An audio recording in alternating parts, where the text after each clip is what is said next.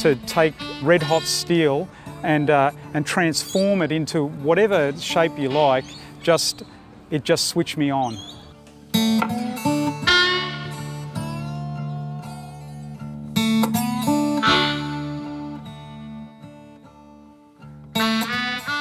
This is the Waterside Blacksmithing and Metal Art Festival. It's put on by the Waterside Blacksmithing and Metal Art Association.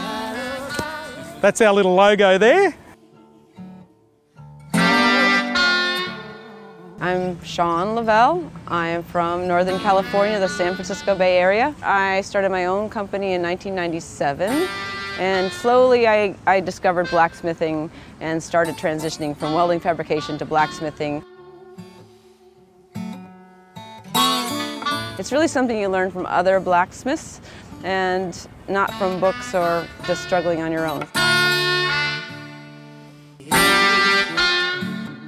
There's something about blacksmithing which cuts across uh, lots of different um, sectors and, and so it, it, taps into a lot of different people.